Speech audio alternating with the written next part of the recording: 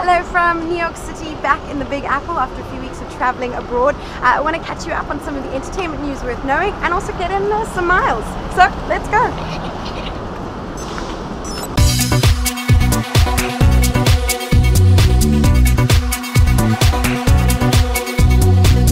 There's a great energy in the city at the moment. Uh, the UN General Assembly is about to take place, the Pope is in town, and uh, they're setting up for the Global Citizen Festival, as you can see behind me.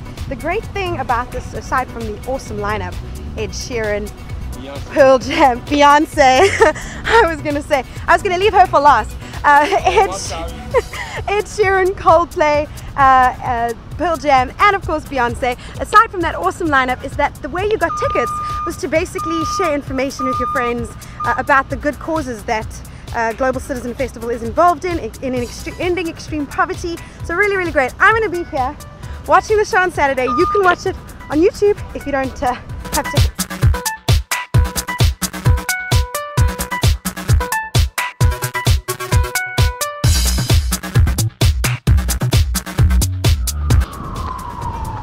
lots of uh, scaffolding and fencing uh, in Central Park.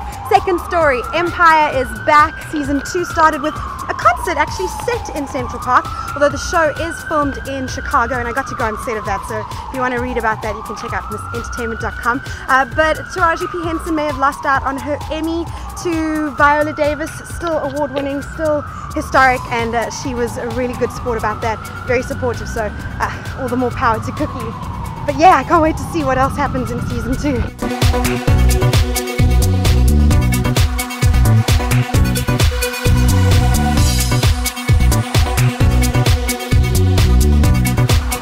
And the third story, great significance, uh, well, for everybody, but especially for me and my fellow South Africans.